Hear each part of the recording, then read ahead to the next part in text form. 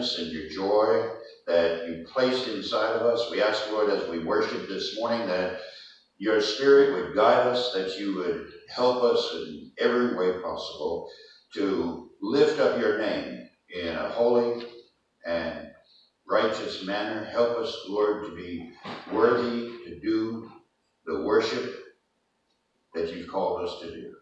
We pray this in Christ's name. Amen. Our first hymn is uh, Oh Worship the King. It's number 73. And uh, Dean, if you'll just go ahead and advance that one time, we'll, we'll be in the right place. All right.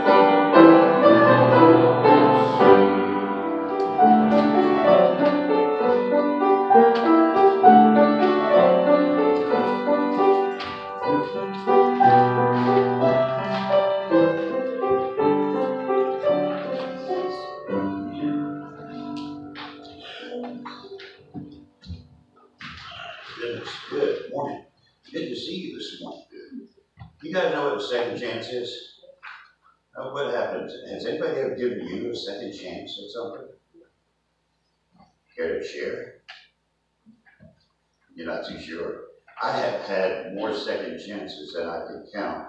Now, I kind of want to tell you about one of those second chances, okay? It just happened this week.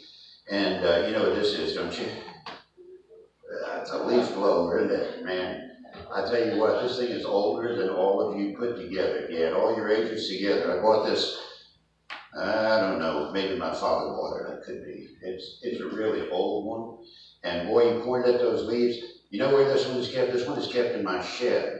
And uh, when I go in and out, I mean, I track all sorts of stuff into that shed. By the time a few weeks have gone by, you can just barely see for all the stuff that's in there. And so I will load this baby up and point it and uh, just blow all the stuff right out of that shed and clean it up, right?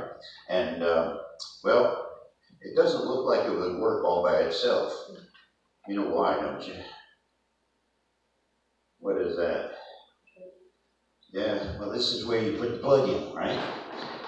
And this is where my story starts about second chance. Uh, this is the cable I use, and it's about as old as that that leaf blower right there. And um, you plug this thing in, and you put the other end into the leaf blower here. But look, that won't work, will it? Let's see if I got anything else to help here. Oh, here it is. Here's that little doodad, right? And it belongs right there. And um, you just, you plug it right in there. And if the electricity is on and everything, then by golly, it will work, right? Uh, here's the problem. I started to use this thing early this week, and it was working fine. I pointed at the leaves, and whoosh, there they went. And I, I shifted a little bit, and it stopped. I couldn't figure out what was wrong. I put it down, and it started again. I picked it up, and it stopped again. I shook it a little bit, it started a little bit. And then I started looking a little bit closer, and guess what I found out? Look here. You see that? That orange casing here, that insulation, that doesn't go all the way to the plug, does it? You know what has happened over the years, pulling that thing out, pushing it in, pulling it out, the wire got worn down, and it's kind of frazzled in there. So you know what I did? I thought, well, you know, I need that leaf blower, so what I gotta do is I gotta replace this plug, or I gotta get a repair thing for it, so what I'll do is I will take out an old trusty tin snips, I use tin snips for everything, they, they're really nice, okay? I mean, they're really sharp, you don't wanna get your finger in there, right? And I came up to that wire, and I just went, I started mashing on that thing, you know what happened? The lights went out everywhere, I mean, and this thing started fizzing, Matter of fact, Gene, if you hit that button one more time, that was me. That's a picture that somebody actually took of me. No, it's not me, but you get the idea, right? That's what happens when you run afoul of electricity. You don't want to run afoul of electricity, do you? You want to make sure that you treat electricity with all sorts of respect. Well, I generally do, but by the way, my son-in-law, uh, married to my daughter.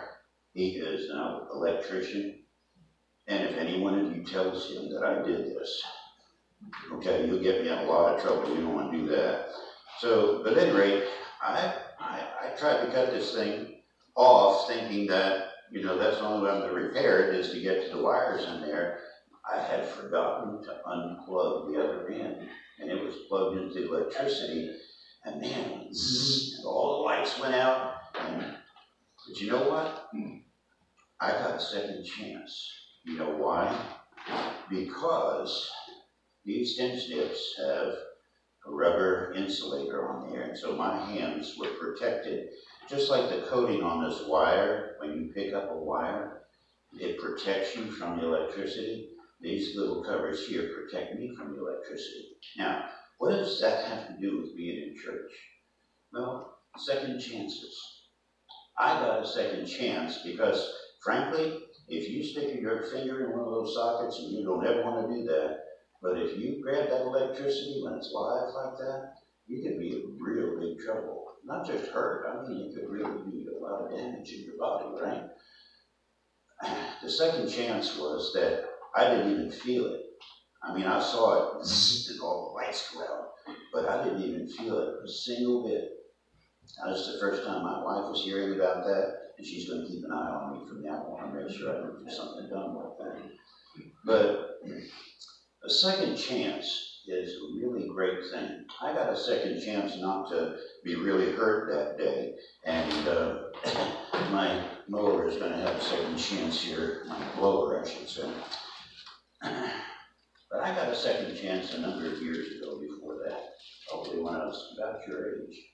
I realized that I had done some dumb things other than just uh, coming to the wire like that. I had, I had done some, some things against God. I had sinned. I had done things that were not right.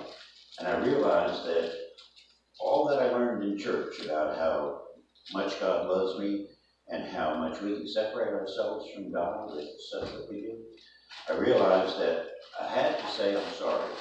And you know what? When I said I'm sorry to God, and really meant it, that I didn't want to be like that, He gave me a second chance. You know what that second chance is all about. We have a cross right here. The cross is where Jesus died. He came to die for our sins. And that's where we get our second chance to be right with God. And so all we have to do is remember that we can make dumb mistakes. We can do things that are wrong, whether it's on purpose or just because we do something dumb. But God doesn't want to leave it that way with us. God wants to help us out of that. And He gives us a second chance. Like that insulation on those wires, those tin snips. It protects us from the sin that we would do. So I hope that you'll remember that you don't need to wind up like him with the stuff that you do. You just need to trust Jesus. He'll always give you a second chance. You just come to him and ask for it. Okay? That's pretty good.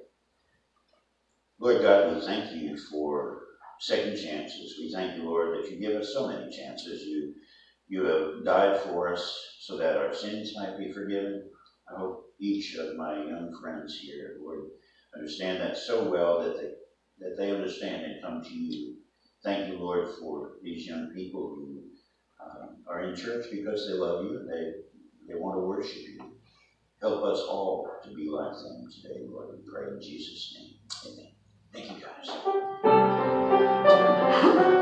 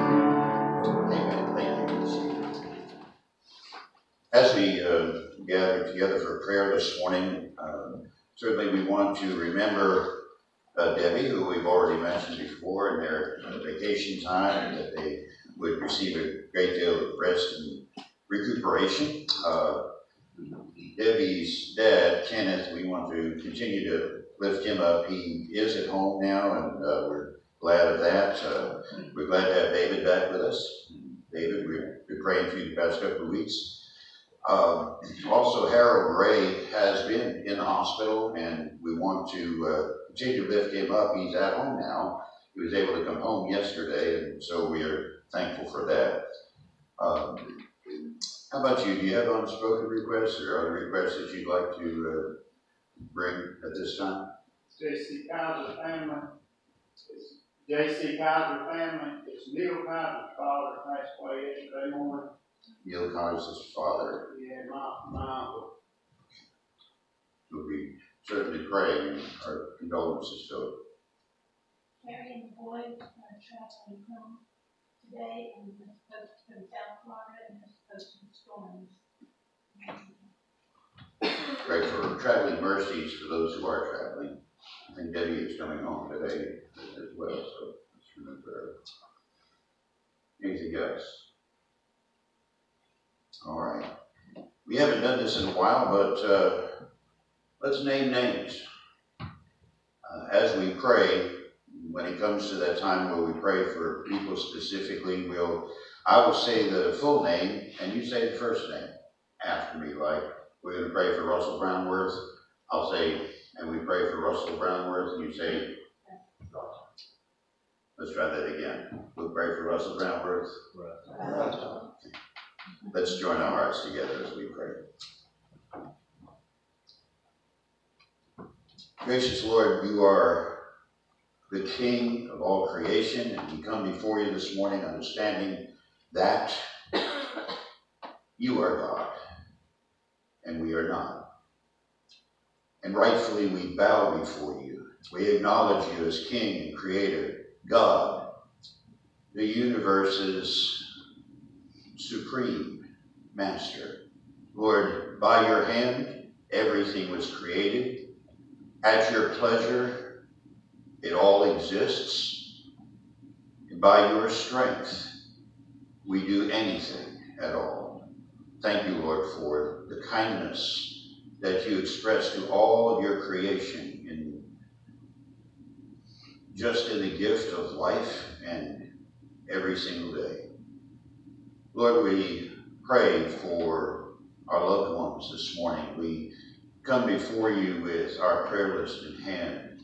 And Lord, we want to remember all of these as we pray for them now. Lord, we pray for Kenneth Allen, David Hayes, Lisa Hayes. We pray for Sue Staley. We pray for Ethan Clark. We pray for Phyllis Owens. We pray for Julie Stigler. Lord, we pray for Neil Kaiser. And Father, we pray for the entire family as uh, Mr. Kaiser's father has passed away. Lord, we pray for a little girl, Sophie Tate. Father, we pray for those who are homebound or in nursing homes. We pray for Ruth Adams. We pray for Harold Gray. Father, you hear each and every one of these requests. You know how important these dear loved ones are in our lives and why we are bringing them to you. You know everything about them. You knew the day they would be born. You knew the day that you would take them home to you. And Father, you knew everything in between, down to the number of hairs on each head. And so, Father, we lift them up to you and ask you to bless. Bless those who are grieving. Bless those who are going through troubled times. Bless those who are going through questioning times. Lord, above all, we would lift those who do not know the Savior, Jesus Christ, as the giver of second chances. We pray, Lord, for your blessing on each heart that's gathered here, but also our loved ones as we think of them in our minds even now, who seem to be lost, who seem to not know the Lord Jesus as Savior. And Father, we don't judge, but we pray. And Father, we pray for the other requests on our prayer list, certainly the requests of our heart. We pray for students and educators in the system. We pray, Lord, for uh, the upcoming year, uh, students that will learn. We pray for the educators that will teach. We pray for all of the support staff. We pray, Lord, for our government, our country, our military. We pray for first responders in our country and the many COVID victims and their families. We pray for the direction of our country morally, the leadership of government, and the decisions that are made. We pray, Father, for your hand to guide each leader, that they might understand your desire, your wishes. And Father, if we have missed any prayer request to lift up to you, which is right and good, we pray that you would forgive us for not lifting uh, that prayer, for not lifting a hand, for not speaking up. But Lord, we, we want to thank you for the joy that comes in gathering together and worshiping together like this, the King of all creation. Thank you, Lord, for your kindness. And now as we pray that great prayer that the Lord taught us, Lord, we pray that your, your spirit would guide our hearts as we think about these words and not just utter them from memory, but utter them in a way that is the deepest prayer of our heart. For indeed, that's how you taught it to your disciples, as you taught them to pray. Our Father, who art in heaven, hallowed be thy name. Thy kingdom come, thy will be done, in earth as it is in heaven. Give us this day our daily bread. Forgive us our trespasses, as we forgive those who trespass against us. Lead us not into temptation, but deliver us from evil. Thine is the kingdom, power, and glory forever. Amen. Uh, this morning, as we uh, turn to God's Word, we are uh, going to be talking this morning about the perfect church. How many of you ever attended the perfect church? Let me see your hands here. All right. Uh, I'm glad, you know, if, if you if you came here looking for the perfect church, let me tell you, don't join. Because you'll ruin it. If you think this is a perfect church, anybody that joins this church could ruin it if this was a perfect church. We'll get to that in a moment. But that's what we're going to talk about this morning. Revelation chapter 4, verses 1 through 11. And uh, the past two weeks, uh, we have studied the letters to the seven churches that were written with pen and ink by the Apostle John, just as Jesus told uh, John to write them down. And some of it was not a pretty sight. The seven churches uh, are on the screen there, the names uh, Ephesus, uh, Smyrna, Pergamum, so on and so forth.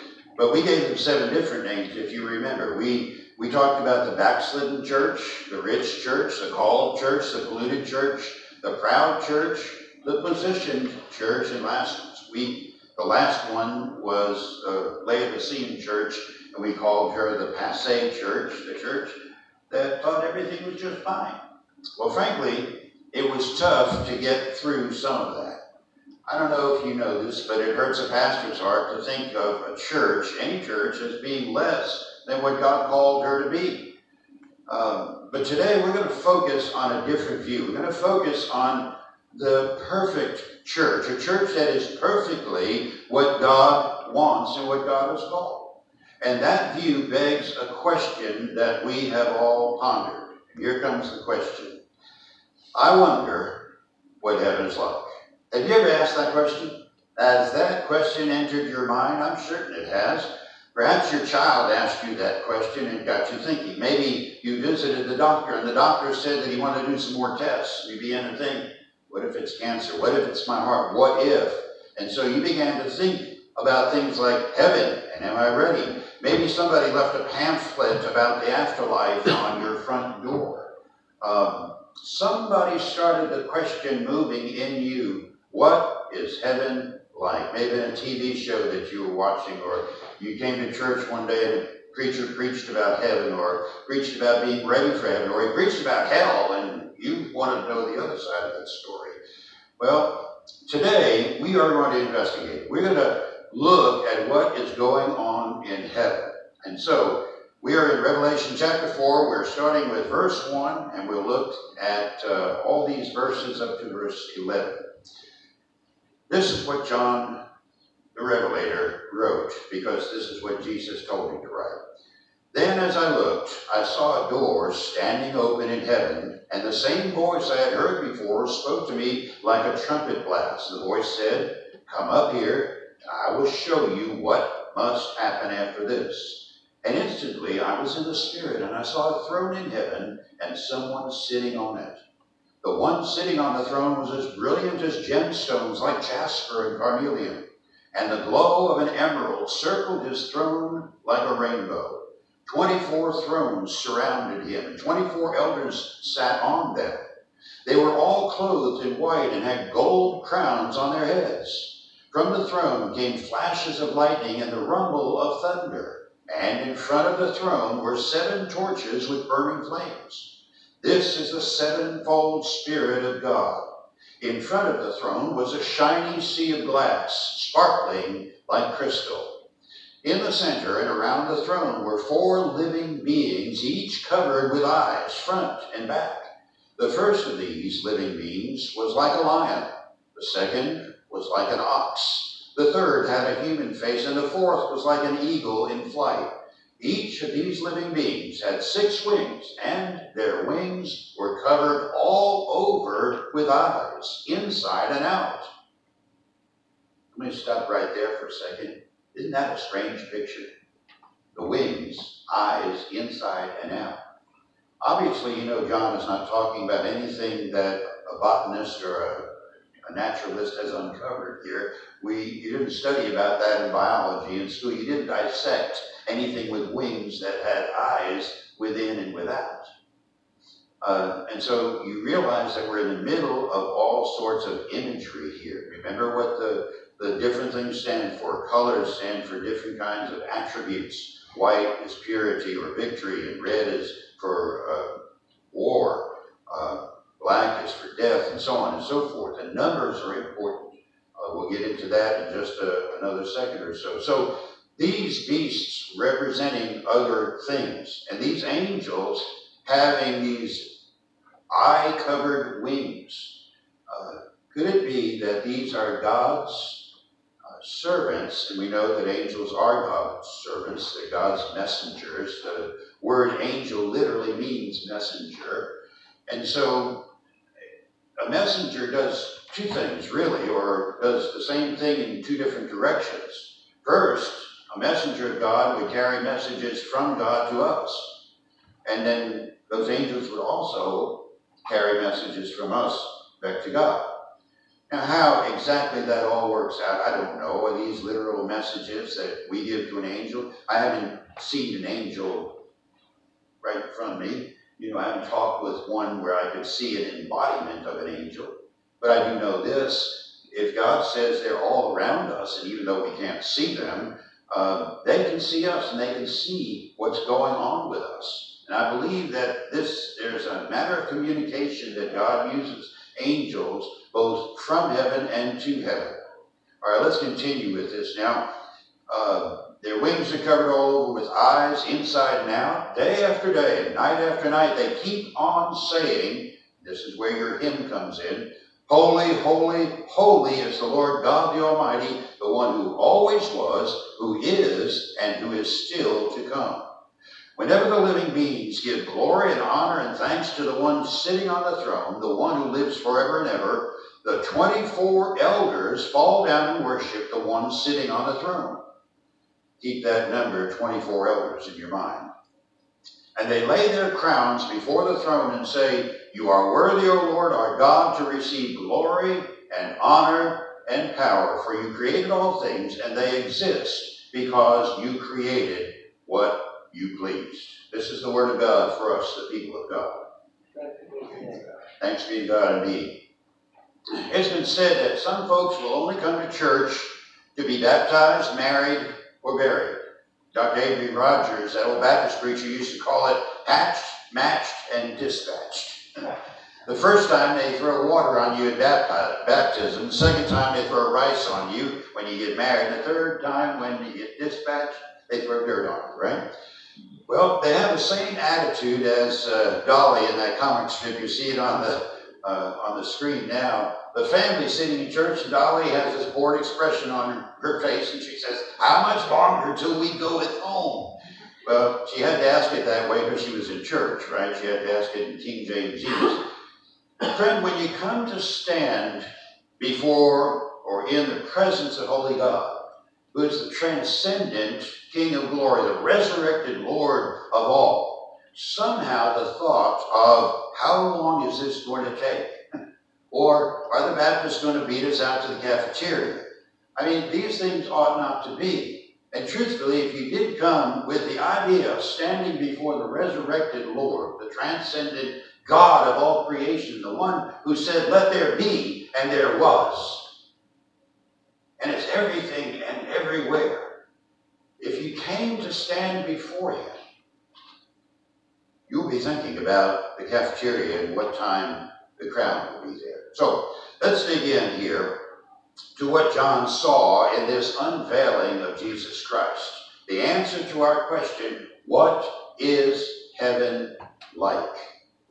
Is a fourfold answer this morning Let's dig right in. First of all, heaven is a holy place. We sang um, just a little while ago, Holy, holy, holy, Lord God Almighty. Holy, holy, holy.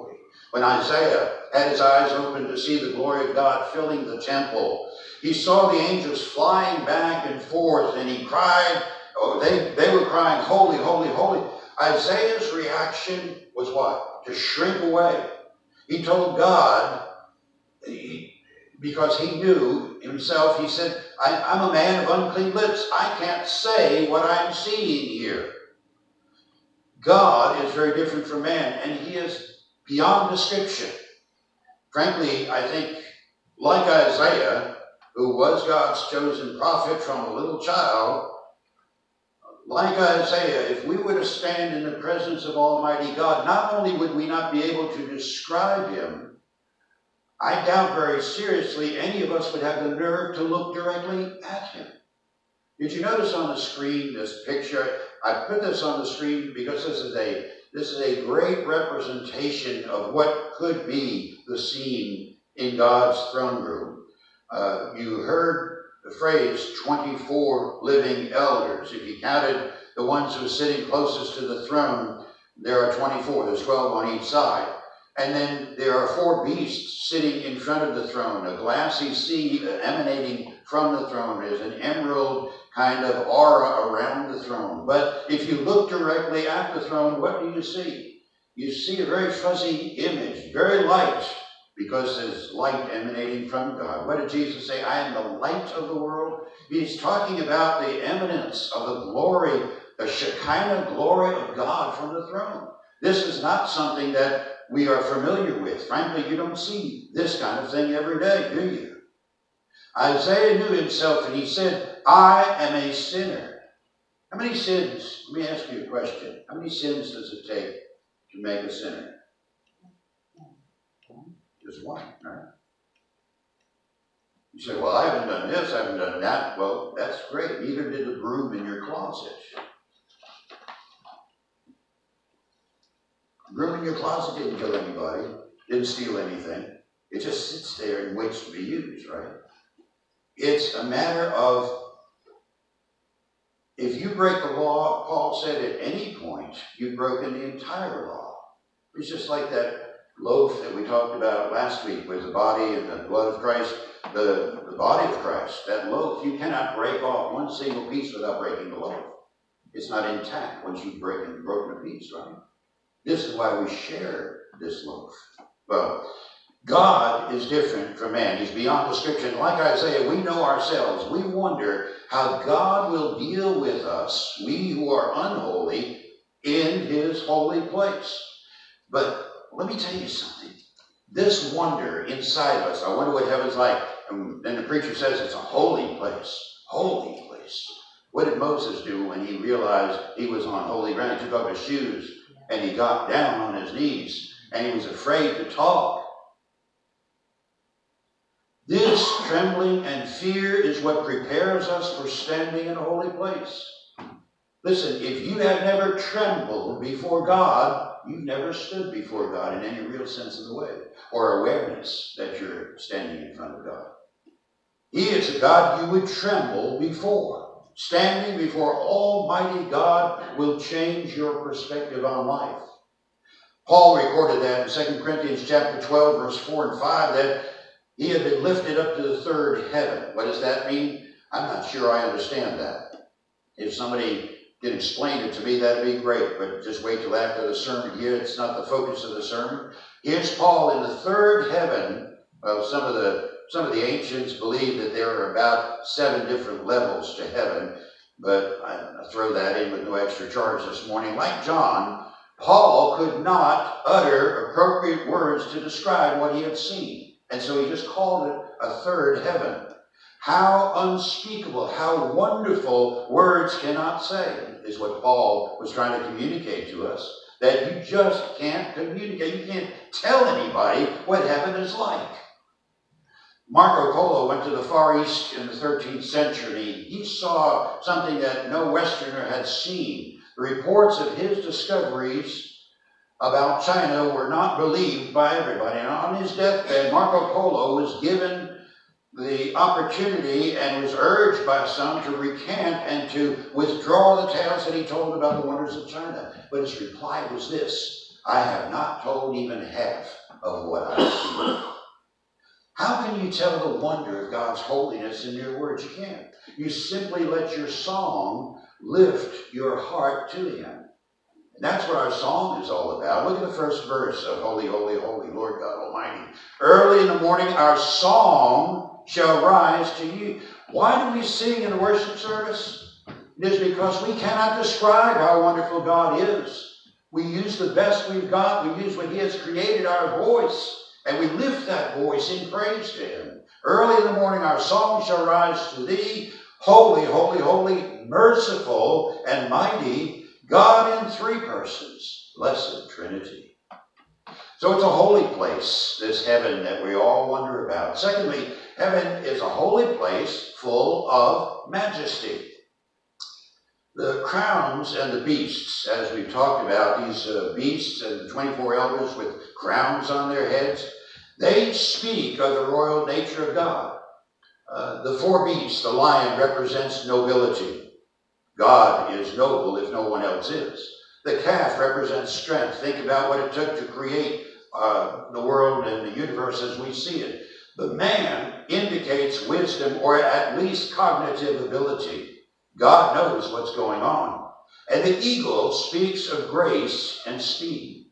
Now, the 24 elders, 12 on each side here, represent the leaders of worship in every age. In the Old Testament, there were 12 tribes of the Jewish nations. You've heard of the 12 patriarchs. Um, these were uh, the sons of promise, and they were the leaders of the 12 different tribes. Added to this group, on the other side of the New Testament dividing line, are the 12 apostles of the New Testament. These elders, these leaders of the worshiping community in every age, the scripture says that what John saw was that they took off their own crowns. What are crowns? It's a symbol of authority. They took off their own authority, and along with the angels, and all the angels, there's a host on the screen there behind those 12 elders, uh, all of the host of God's people, including the angels, these have taken off every symbol of authority, every symbol of uh, achievement, and they bow down to the only true majestic one of the bunch, who's King Jesus. Simple as that. They take their crowns off and they cast them before the Lord Jesus. If you are Billy Graham, wonderful. If you're a murderer on death row who's converted at the last hour, it doesn't make a difference between the ridiculous and the sublime, let's say. If you're converted at the last hour, or you've been a great saint and useful tool like Billy Graham was, there will come a time when every one of us at either end of that spectrum, we will all bow before the throne to worship.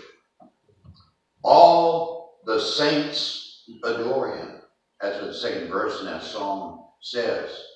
But listen, whether you're a saint or you're a hardened sinner, Scripture declares that every soul will bow before him. No one is excused from that meeting. What is the old terminology about meetings? You know, you call a meeting, and if you get 50% of the attendees, you're in good shape. Um, if El Sue were here, I'd ask how many we have on the roll. You know, we have a, about 100 people on the roll in this church. How many are here? Right? We got 35, maybe 40. Um, so, Paul put it this way in Romans chapter 14, verse 11. The scriptures say, As surely as I live, says the Lord, every knee will bend to me, and every tongue will declare allegiance to God. That's reality. One day every knee shall bow, every tongue confess. Not a wrong thought to begin that practice right here. Our worship, I think, ought to include bowing before God. Uh, I don't know if you've attended uh, other church uh, functions uh, in other church buildings where you have kneeling rails in front of you just about every Lutheran church I've ever visited has a kneeling rail there. Catholic churches have kneeling rails that you can kind of flip down and you can slip out of your pew and just, just kneel on there. We have a kneeling altar up here. Our worship, I think, sometimes we Methodists don't do much of that because the Catholics are doing it or another denomination may be doing it. We don't want to be confused with them. But in heaven, those who have already gotten used to kneeling are going to be way ahead of us.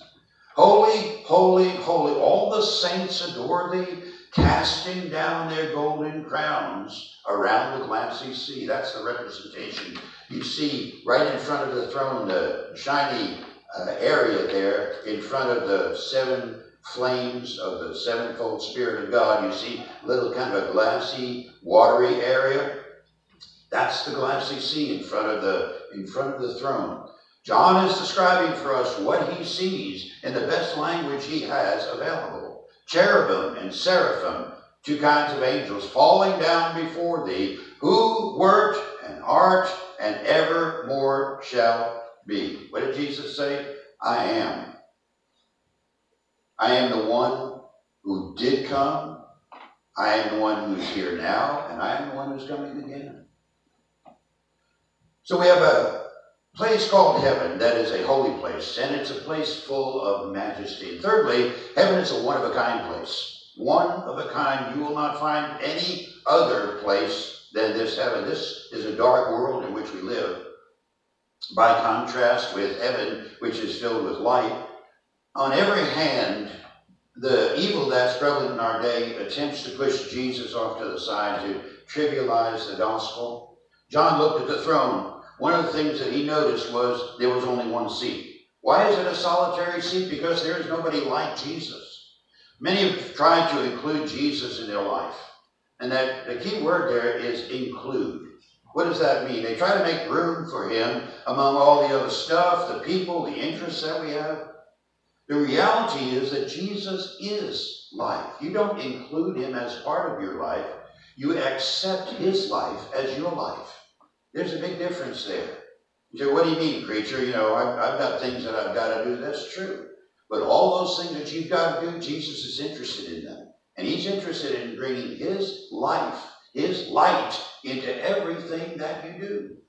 Remember what I said the last two weeks that our job as believers is wherever we find ourselves, whoever we find ourselves talking to, wherever the conversation opens, we are to take that conversation cross country to where Jesus is.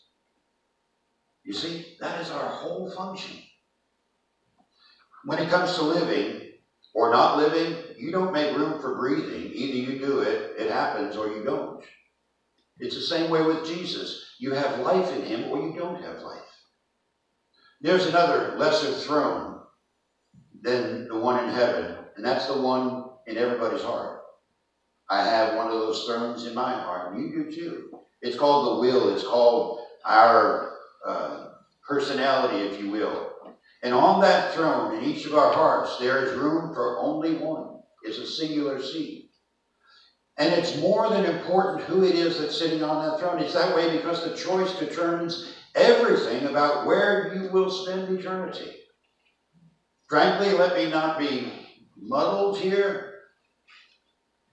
If you're sitting on the throne, you spend an eternity separated from God, sitting on your own throne in heaven.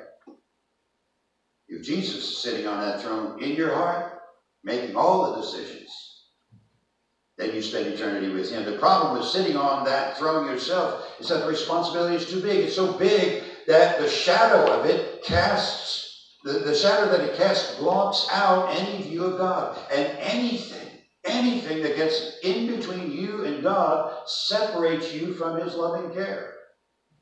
Have you ever done this?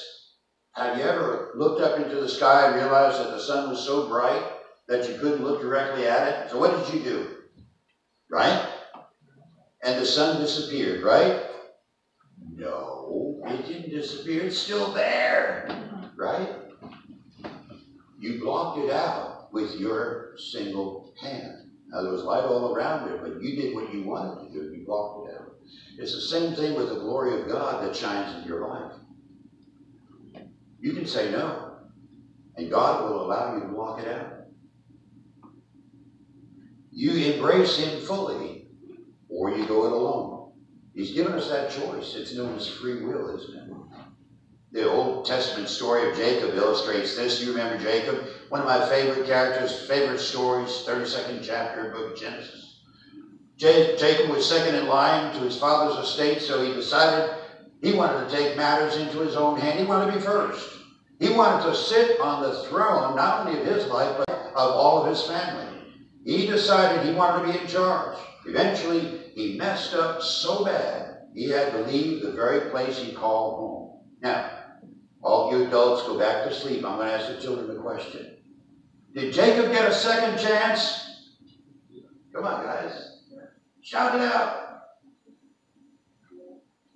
Yeah, you bet he did.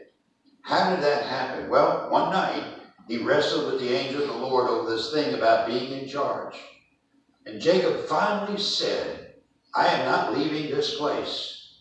I'm not letting go of you until the matter of who's going to sit on the throne of my heart is settled.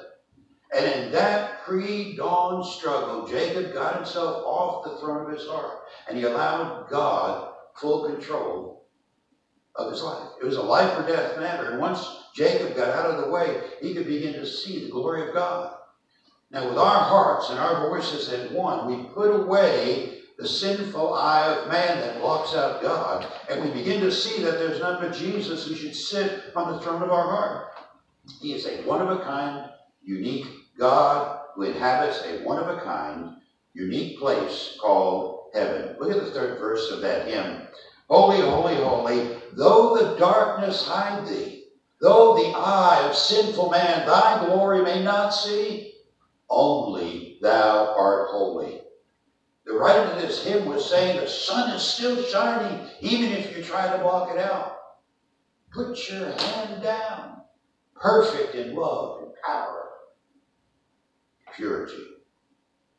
So we have a holy place called heaven. We have a holy place full of majesty called heaven.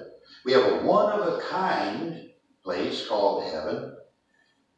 And lastly, heaven, above all else, is a place of God's mercy. Only mercy can evoke true praise. Only mercy can give the second chance. It's only the saved sinner. Listen, it's only the saved sinner who can look back and see that he deserved hell and was handed heaven. I love that imagery. We are standing on a precipice, and the precipice is melting away. We're about to fall down however many miles into whatever perdition. And yet, we are turned in the opposite direction, and we are given heaven. Mercy. That is the mercy of God. What is it that God has been merciful over? Well, if you stop and think about it, creation was an act of mercy. God didn't have to make any of this. All sufficient unto himself, but he wanted fellowship. He wanted communion. God's patience over sin is an act of mercy. You know what? The first time you sinned, God's law says, He that sinneth, the soul that sinneth, shall surely die. It could have been instantaneous like that, but God was patient over your sin and mine. God's word, which reveals himself, is an act of mercy because he didn't have to tell us what he's like. He could have let us fend for ourselves to try to find him. But he gave us his word. He gave us Jesus, who is the word. And then the cross was a supreme act of mercy with him dying for us. And so what do we do about this mercy? What do we do about this place of mercy called heaven, we praise. We lift up our praise to Him. I mean, isn't that why we met here? You know, if, if you came in for any other reason, you missed it. We're here to praise Him. If the God of all mercy chose to come to earth, to die, to go to hell, to release the captives and suffer the penalty for our sins, what an incredibly small thing it is for us to return praise to him. Look at the last verse of that hymn. Holy, holy, holy, Lord God Almighty, all thy works shall praise thy name. Are you a work of God? Are you a work of God? Were you created in his image? You're a part of his handiwork. You were created by him. All thy works shall praise thy name in earth and sky and sea. That just about covers all of them. Holy, holy, holy, merciful and mighty. Boy, those two put together. He's so mighty he could end it all with a word. Because that's how he started in the first place. But he's so merciful. merciful, and mighty. God in three persons, blessed Trinity. You're familiar, perhaps, I'm sure, with the name Joni Eareckson Tada. Beautiful young woman, 17 years old, had a diving accident, became a quadriplegic. Years later, she found God in some very dramatic ways. One time, according to a magazine article I read, she was in a worship service where everybody was asked to kneel in prayer. Now, how is a quadriplegic going to get out of her chair and kneel in prayer? So she was unable to do that, and she, she began to cry silently because she really did want to kneel before her Lord. Through her tears, she prayed this. She said, Lord Jesus, I can't wait for the day when I will rise up on resurrected legs. The first thing I'm going to then do is drop on grateful, glorified knees and worship you. This is the real test of worship. Does it, whenever and whatever we do, and however we do it, does it come from the heart in that way? ready to give to him everything he's given to us? Do we recognize that it can never be enough? But we do it anyway because he has said, Come into my house. Do we offer our best despite the inadequacies of our human condition? Are we in the worship service to be pleased by a fine choir, a soloist, a neatly constructed and cleverly presented sermon? Are we in the worship for the entertainment? Or are we here and there to please God and to bow before Him and to cry, Holy, holy, holy. This is why God placed that wonder in your soul about heaven.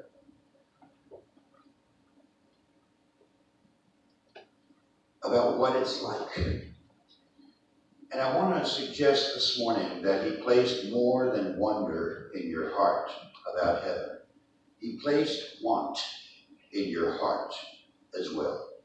It's undeniable. You give people a choice between heaven and hell, and heaven wins every time. So here's a test. Here's a test about your worship today and the rest of this week.